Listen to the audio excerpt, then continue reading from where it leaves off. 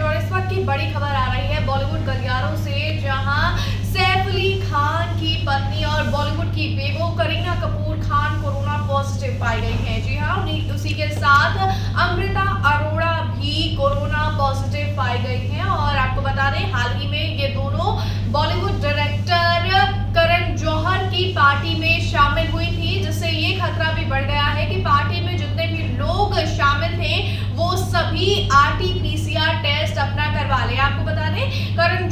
घर जो पार्टी रखी गई थी, उसका मकसद था कि कभी खुशी, कभी गम को 20 साल पूरे हो गए थे अपनी रिलीज़ के, जिसके बाद ये दोनों ही एक्ट्रेसेस इस पार्टी में शामिल हुई थी और आज ये खबरें सामने आ रही हैं कि ये दोनों ही स्टार्स कोरोना पॉजिटिव पाई गई हैं। आपको बता दें, इसके तुरंत बाद ही ये रिया कपूर के घर भी हाउस गैदरिंग में शामिल हुई थी और इस बात की जानकारी रिया कपूर ने भी अपने इंस्टाग्राम से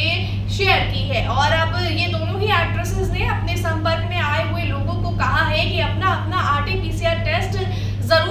लें ताकि सावधानी और सुरक्षा बरती जा सके। आपको बता दें, बीते दिनों काजोल की बहन तनिषा मुखर्जी भी कोरोना से संक्रमित पाई गई थी और इस बात की जानकारी तनिषा ने अपने सोशल मीडिया हैंडल से दी थी। तो इस वक्त की बड़ी खबर बॉलीवुड गलियारों से यही आ रही है कि बॉलीवुड एक्ट्रेस करीना कपूर खान और अमृता अरोड़ा कोरोना पॉजिटिव है तो हम भी यही गुजारिश करते हैं कि जो भी लोग उनके संपर्क में आए थे वो अपना अपना आरटीपीसीआर टेस्ट ज़रूर कराए फ़िलहाल इस खबर में बस इतना ही लेकिन